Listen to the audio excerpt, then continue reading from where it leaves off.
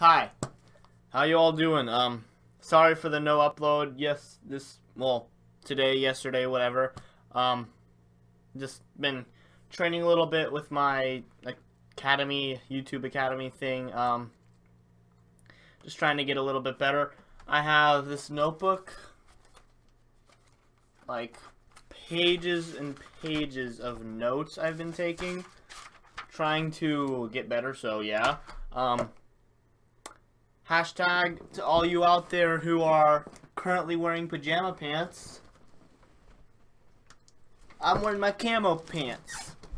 Because that's the only type I could find buying wise. But, uh, yeah. Let's actually get into this video. Five horrifying back to school stories. Woo. If you think you're ready to go back to school, think again.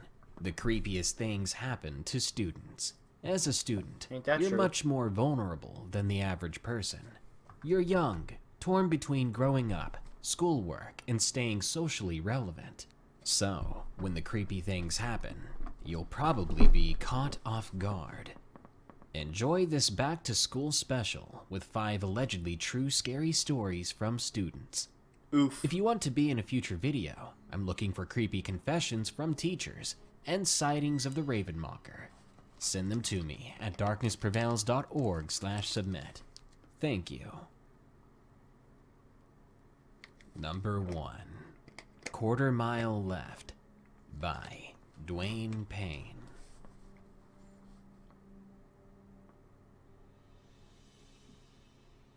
This story is an old one, but will stick with me for as long as I live. Okay. I'll do my best to keep my writing short and to the point. This happened when I was around 10 years old. 10? I should have been in the fourth grade, I believe. I'm 36 now, so it was a while back. There we go. I lived in Washington State in a city called Tacoma. This all starts when I woke up for school one day and realized I was going to be late for the bus. Mondays, I rushed to get dressed and sprinted out the door for the bus stop. No time for breakfast, but I managed to get there I don't know about you, but I'm always gonna wake up on time for breakfast because I need to eat. I it's just something I need, and I don't know about you guys, but something I've been raised on. I've had cereal and for I usually eat cereal, but something I've been getting into more lately, something I had for my younger years when I was little, is toaster strudel. Um, a toaster strudel thing. It's buy it at like grocery store or someplace. It's like blueberry, strawberry. They're great. Get frosting on them, put it in the toaster. It's great. Got to say. just in time to see it pulling away, leaving me standing there, shouting a curse for my bad luck. I had to walk that day, and it was at least two miles away, Holy so I thought. I'd better get moving. If I was late for school, I'd be in a world of trouble. I had a very strict religious mother, but that's a different horror story. I ran full speed as far as I could before I doubled over, catching my breath. I forced myself to walk, but I walked as fast as I could as well. But after a moment, my left leg began cramping up, so I was forced to take it easy. I was making good time though, and I could make it to school around the time the bell rang. But I had to keep up the pace. When I was about halfway there, I began to relax, realizing that I would make it in time, and that there was nothing to worry about. Now, Nice. Tacoma is a pretty scary place for a child. The roads can be busy one moment, then empty the next, hmm. even this early in the day. That never bothered me when I was younger. I never thought of it as dangerous anyway, just weird. Soon I was pretty close to the school, and I noticed that the roads were empty. No cars or people coming or going. No one outside walking around. I'm literally the only living or moving thing on the road. Mm, It was just that's bad. That that that's already bad. Like you said, your mother is all bad and stuff, but if you know what it's gonna be like, just uh, yeah, mom, I, I I'm a sick.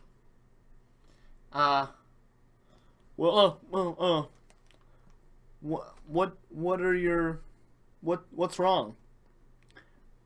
I'm throwing up. You don't look like you're throwing up.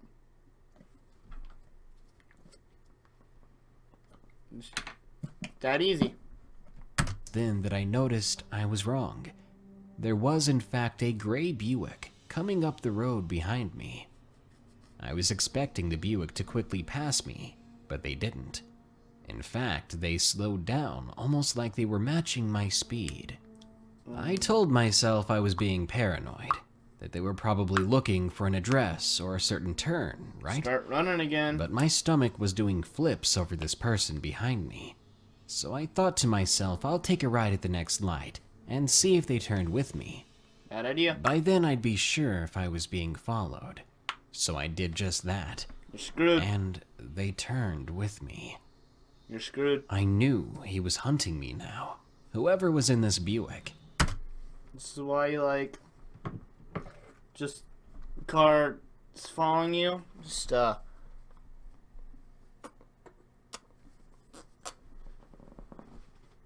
wanna follow me now, boy? I mean really, really we we gonna do this? We we gonna throw down? Square up? We gonna square up? Cause I mean I'll come at you. If you come at me, I'll come at you. People, people screwing up. and I'm still about five blocks away from school. And now I was walking away from my path because of my little test. I was stupid, I thought. I had basically trapped myself for him. The car was pulling up closer now, nearly skimming the curb. Then the car door opens on the driver's side. It opens slowly, as if he's trying to be as quiet as possible. I can't help but look at the man as he steps out, but I see no man. Either he was amazingly short, or he crouched under his door so that I couldn't see him. Hmm. Either way, it was especially odd. I can see his feet under the car door. I see them move to the trunk. Just as I see a silhouette coming out from behind the open trunk, a figure of a man pulling gloves onto his hands. Someone opens the door to their house on this side of the road. To my surprise, it's a woman and a baby of maybe two years old. They start walking down the street, so I walk slowly behind her. She takes a moment to notice me behind her, and when she looks at my face, I mouth the words help. She notices the Buick following me as well, as the man had already gotten back in the car and was once again keeping pace with me. As she realizes what's going on, I can see her face twist into fear.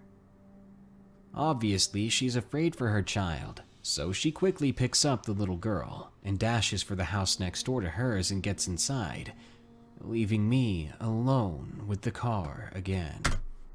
I mean, save yourself. Yeah, I can. I understand that. Save yourself. Save your kid. But there's that guy was obviously not even after you. He was after the other boy. So, I mean, yeah, get away from him might be an option, but just like put him in. you- You're carrying one kid one arm, other kid in the other arm, football it. Ain't that hard? Hmm. Shouldn't be that hard. Hmm. What am I going to do now? I thought. I still have five blocks to go, and he's ready to hop out and just chase me. I can feel it. I was beginning to think it was game over for me. I decided the moment he gets out, I'll take off at a full run and start running and jumping through people's yards to make it even harder for him. Hmm. And who knows, maybe I'll find someone to help me. My eyes were watering in tears, and suddenly I hear the man's car door open again. And as soon as I hear that, I take off as fast as I could. I suppose he saw me running, as I heard a gruff man's voice behind me yell. I throw myself over the first fence I come to, and I run like I want to live. Because I do, of course. I run three solid blocks on just adrenaline alone, freaked out, because I can feel him coming after me. I don't see or hear him at the moment, That ain't a good but feeling. that's good. Maybe I've already lost him. I can see my school now, and a few kids making it just in time to get inside. Then I hear the bell ring, and the remaining kids run to not be late. I try to run too, but I'm almost burned out at the moment from the Buick driving psycho. Just as I reach the street literally by our school field, the Buick pulls out in front of me, cutting me off from getting on school grounds. Uh-oh. I realize he knew where I was going, so he was able to cut me off easily. Hmm. It's all over now, I tell myself. This is it. He's going to take me and do what he wants. God knows what that might be. I can't outrun him either. I'm exhausted. I turn away from the school and cry frantically. I try to move quickly, but it I just had a thought. When people kidnap little people, what do they do to them? I mean, there is all that bad stuff. Like the dark web type stuff, that type of deep level crap. But then there's the other like they can't all be like dark web people who want to do bad stuff.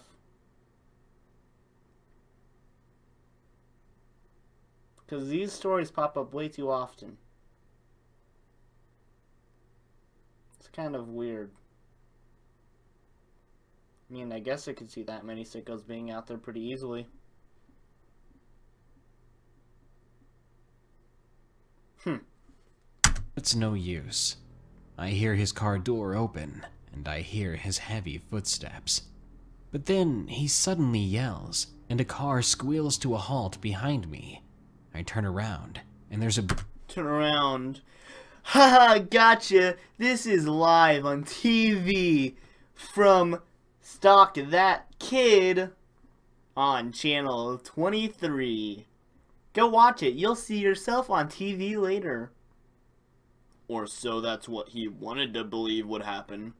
blue vehicle pulling up. The door opens, and a woman, the woman who I saw before, who had pulled her daughter inside a neighbor's house, was st- And she's all guns a blazing, machine gun, headband, like army jacket, dog tag. Urgh! Kid, run into the school. That I'm, I'm yeah, this is a bit weird. telling me to get in now. I hop in her car, then So you just ran from one psycho and you possibly just went right to another, straight to another one. You don't know. You you don't know. Boy, you screwing up. and she floors it. I cried so hard. I was finally safe. The most horrifying experience of Oh, my life was over. Thank You God. don't know that. God bless this woman for saving my life that day. When I was in that car, more relieved than I've ever felt, I looked at her like some sort of guardian angel. The woman drove me to a police station and helped me get in touch with my parents, as I was still crying like a fool. On the news that same day, a description of the man and his Buick were given. And that's as far as I know. I never learned if he was caught or anything. I kind of shoved it all out of my mind after that because it was so traumatizing. But I do know that he didn't get me, and he was wanted by the state after that. Hmm. I'm so glad that woman came back to save me. Number two. Nice. Please stay away from me. By Anonymous. When I was younger, around 15 or 16 years old, I had a habit of meeting people online. I don't even need. I don't even need to point out what's wrong with that. That's dumb. Unless you have like pistols and crossbows like hidden somewhere. You're screwing up. I didn't have many real life friends, and I was having family issues on top of that. That was around the time I met this guy. His name was Nathan. Nathan and I chatted it up through messages for a while, until one day he said to me, Hey, can you call me? I smiled because I That's actually if you're online chatting with people, that's actually a good thing to do. Like call me, so then you might actually be able to tell if they're a real person and not a guy in their fifties, sixties, in their kid's basement if they have kids. Uh, at an old homeless shelter, um, stalking younger people. I felt like I knew this person. He was as sweet as could be. I agreed to give him a call. We talked on the phone for hours and hours, and I had a great time. Fast forward a few months. I was in school and constantly busy with schoolwork. So busy that as soon as I'd get home, I'd fall right to sleep after a long day without a word to anybody. But Nathan didn't like that very much. Sorry about that, guys. Had to pause and it's a bit weird. Uh, had a little bit of an interruption with family. You know how that goes. Luckily, I wasn't doing anything weird. He would get upset, and not just a normal, oh, but I've missed you kind of thing. He would get irrationally angry. I'd wake up with about 9 or 10 missed calls, several voicemails, and around 50 text messages, Stalker. all of which were very unpleasant to hear or read. He'd make me cry with a lot of things that he said to me. Then, when I'd call him to apologize, he'd yell at me more and tell me to never speak to him again. This would only make the tears come down harder. After an hour or two, he'd call me back and apologize, promising he'd never be that mean to me again. Being young and Hey, he's naive, lying, he's lying. I believed him. So I'd try my best to call and text all day, every day to keep him happy, because I knew if I didn't, it wouldn't be pretty. After a few months, he started getting mad at me for even smaller things. Either I didn't find his music good, or I'd accidentally fall asleep on the phone, or I would talk too much, stuff like that. Everything I did, he began to judge me for. We'd have fights several times a week. He'd get angry, yell, curse, tell me to never talk to him again, hang up, only to call back hours later and apologize. Rinse, repeat. It was bad. The thing about Nathan was that he knew about the life that I had before, but things were better. Nathan did not approve of my forgive and forget attitude, though. He had said to me, They did awful things and you should hate them, you should try to get back at them. Talking about my family members. But I didn't hate if he. If he's talking like that, do the same thing with him. If he doesn't like your forgive and forget, then don't do don't forgive and forget with him. Kadoy. That's what I would do. Karma. anybody. But he disagreed. While I wanted to be happy, he tried to talk me into hurting my family. I could tell he spent time out of his own day thinking up ways I could get back physically at my family and friends. Ugh. Get painful revenge on things I wasn't even mad about anymore. Then he started talking about other girls in front of me, trying to make me jealous and mad. He wanted me to be hateful, Drama but king. I just couldn't. That wasn't like me. Well, not until the final straw, which was the day he called me, telling me that he found out where my mother worked and that he'd be happy to cut her brakes. Oh. I cut off all contact with him after that, and I made sure to warn my mom to be careful with her vehicle. oh. I ghosted him, blocked him on everything, blocked his number, did everything I could to make sure he didn't exist in my life anymore. This guy, he freaked me out and made my life miserable. I hope I never hear from him again. That's awful. Number 3 Gettysburg Field Trip by Matt. While this story is a fond memory of mine, it's bittersweet. I remember what happened very well. I was in eighth grade. I was on a three day field trip to Washington, D.C. We had already left the DC area and decided to spend the afternoon at Gettysburg. A very entertaining tour guide boarded our bus and showed us around some back roads through the former battlefields. We saw some memorials, monuments, and heard great stories. We even got to run around part of the actual battlefield, doing parkour off of rocks and climbing Fun. through rocky alcoves. It was a lot of fun. That's not the point of the story, though. I only mention it because it better explains what we did after dinner. After dinner that evening, we went on a ghost tour inside and around the house of Ginny Wade, the only spoopy. civilian life taken during the Battle of Gettysburg. While I was outside, I captured several photographs of orbs and a single photograph of an unknown misty form. My camera cool. occasionally refused to focus, but returned to normal if I faced another direction. Hmm. Anyway, while I was inside the house, my friend believed he captured the spirit of Ginny herself in a photo taken on his phone.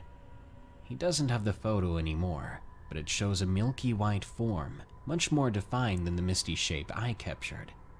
He even started crying that night, which was way out of character for him.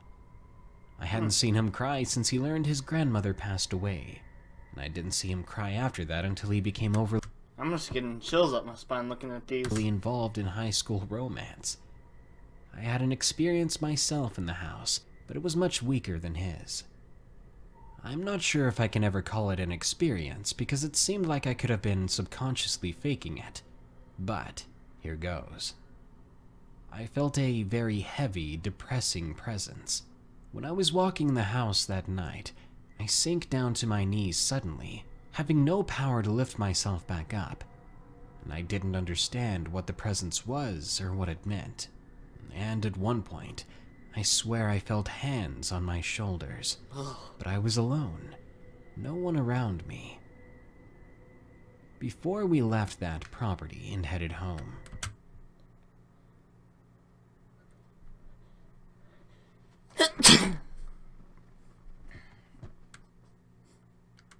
I captured one of the best photos while I was there, the other being the mist. I will link both of them. Something is going on on that property. Something tells me the past relives itself, or at least the emotions of the past do. Number 4 Creep at My Middle School by Kramer. I was 16 years old when this happened. At the end of school one day, I had to talk with my PE teacher. My school lets out at 4 p.m. every day, and I went to my teacher around half past 4. Three. I played Yeah. a lot of sports and had a very good relationship with my teacher, so we're close friends basically. The classroom itself is halfway underground. There are windows at the sides, and you can see people's legs from there as they walk around outside. Around 5 p.m., I noticed a man behind the gate of our school from one of these windows, Uh-oh. and he was staring right at us. I mentioned this to my teacher, asking her, Isn't that weird? And she simply said that it was probably nothing. Oh. Around 10 minutes nothing. later, I looked out the window again and saw that he was still staring. I again mentioned this to my teacher, so we went outside to ask him if he was alright or if he needed anything. I didn't recognize the guy, and I'd lived in that small town all my life, so it was strange. She didn't know him either, and had never seen him before. Anyway, after we asked him if there was something wrong, he simply kept staring. He was creeping me out, especially because I was afraid he was some criminal friend my father knew. My father was involved in a lot of shady things. The man began whispering right in front of us, but we couldn't make out what he was saying. I told him to speak up, as we couldn't hear him. He then got closer to the fence as we both leaned in, and then he screamed in our ears, screaming that we were the crazy ones, not him. He yelled it ten times when I walked away while still looking at me. We went back into the gym and continued our conversation, trying to ignore what had just happened with the freaky man. By 5:30, I said my goodbyes to the teacher. I got on my bike and began my ride home. It wasn't bad because it was only an 8-minute ride, so I wasn't worried. About 2 minutes into my ride, I saw the same man standing beside the road. But oddly enough, he wasn't looking at me this time. But after I passed him, I began to hear footsteps rapidly approaching me from behind. I turned around, and I saw the man running after me. It was too late. Before I knew it, he had a hold of my bike, so I had to stop. That's when you jump off, take your handles, spin it, and whack him. I don't know if it was if I if I'm the only one who's done that with a bike for some reason. When I was little, I just liked throwing my bike from the handles. It was like defensive technique against the burglars, I guess. I don't know, but should be that easy. The guy struck me in the face extremely hard, Mm. causing me to fall off the bike and onto the ground. As I lay there dizzy, feeling where I'd been hit, he screamed in my ear again. I was so dumbfounded. I couldn't quite tell what he was screaming. But who knows, considering he was crazy. When I got back up, I shoved him as hard as I could, causing him to release my bike. I got back on and rode as fast as I could before he could catch up with me. He may have been skinny, but he hit like a train. And there's no telling what he would have done to me if I would have stayed on the ground even a bit longer. When hmm. I got home, I told my best friend about the incident, and I told my mother about what happened with my face. She wanted to get in the car with me and go find the guy, and to teach him a lesson. Heck no. But I Unless you bring definitely didn't want to see him again. So we kept the house locked up tight. Several days later, I was burning up in my room, so I opened my window a smidge. No, no. But literally, the moment I opened it, I heard footsteps just outside my bedroom. So I shut it. But my dog was barking like crazy Oh, at no. something he had heard outside. Ugh. Between his barking and the sounds I'd heard, I was so paranoid I wanted to go downstairs to check the living room door, just to be sure it was locked. Just as I went downstairs, I looked out the front window from the stairs, and I saw a face of a ragged old man peering into our home. It was him. We made eye contact. After smiling, he took off full speed away from the house. I immediately called my mom, who called the cops, and they patrolled the neighborhood looking for this strange guy. I never saw him again, thankfully, but I know he's out there because the police report did not lead to an arrest. People are unpredictable. You think? And number five, Almost Taken by Shannon. It says almost kidnapped. I'm a 16 year old girl and I'm 5 foot 2. This experience happened to me only a couple of days ago as of writing this. It was spring break, and I went on a trip with my teacher and a friend from school for a robotics trip in Denver. The first three days there were no problems.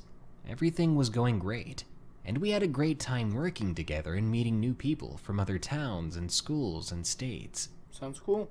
When we arrived, we got the place set up for the competition on the first two days, and on Saturday we helped to take it down. On the last day that we were there, after all the games were over, one of the teams stayed to help us clean up and take everything apart, which I greatly appreciated, and it helped cut the time in half. Around 9 p.m., they left for the night, and the rest of the volunteers stayed to help. At around 10:30 p.m., most of the volunteers went home. So by then it was only a few of us and the people who were driving the trucks to take the parts for the games. As we were finishing up, I started getting a strange feeling like someone was watching me. As I looked around the area, I saw one of the truck driving men looking at me. He gave me the up down, making my heart skip a beat in a nervous way. I got cold all over. The man was probably in his early 30s, and he had a long red brown beard. He was easily over six feet tall. Thinking since I was in a big city, maybe he was just trying to figure out if he knew me or not, so I ignored it at first. Okay. Within the next half hour, I kept getting that bad vibe. I looked over again, and that's when you go over to him, put your hand on his shoulder, and give him a swift kick between the legs. and the two of us made eye contact. Awkwardly, I smiled, and the look on his face, ah, it was almost sinister. We kept Almost. working, and I started feeling sick. I wanted to find my teacher so that I could ask if I could go get some water. As I was walking around looking for my teacher, I was no longer paying attention to the strange man. Apparently, he had moved, because I ended up accidentally running into the guy. Before I knew who it was, I had said, I'm so sorry I wasn't looking. But when I looked up and saw him, Mm-mm. I was petrified. He gave me the same creepy, sinister expression as before. Then s- I was gonna say something funny, but I don't know. I couldn't think of anything. All I could think of when I did that face was, "Hi, welcome to Chuck E. Cheese," but that's more intimidating. slowly and only eventually said, Terrible in improv. Oh, it's quite alright, beautiful. You hmm. know, you're very pretty. How old are you? I was taken so off guard that I felt like screaming. I was scared, especially after the way he talked to me. I politely replied Think- that I was only 16. Keyword only there. I tried to walk away after that, but the guy, with his massive arm and grisly hand, grabbed me by my arm and said, No, no, you look plenty old. But you know, I do like younger girls. No. At that point, I was sickly pale, I- I'm sure of it. And I was screaming in my mind, Give him a knuckle sandwich. I looked up at him and forced a little laugh, hoping he was just joking, and walked away. When I was walking to get a drink, I saw him following me up the stairs, and that's when I started running.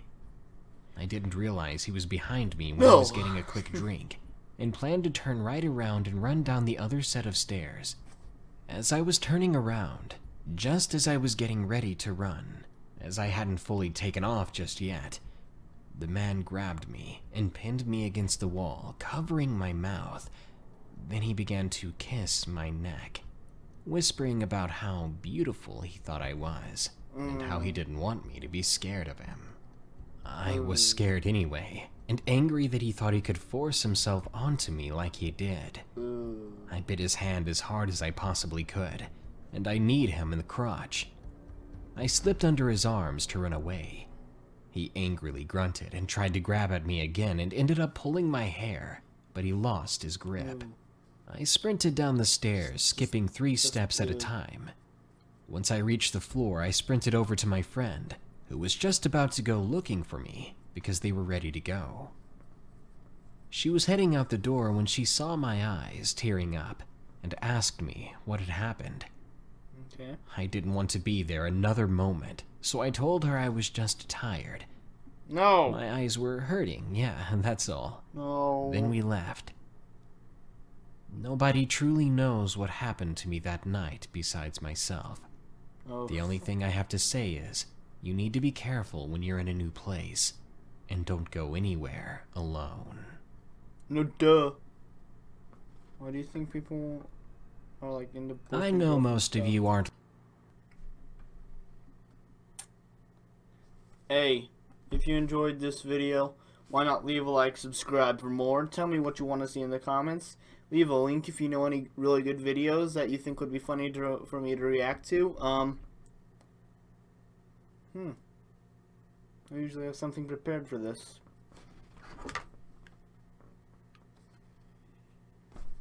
That's where my glasses were, in case you were wondering. Anyway, until next time. Peace.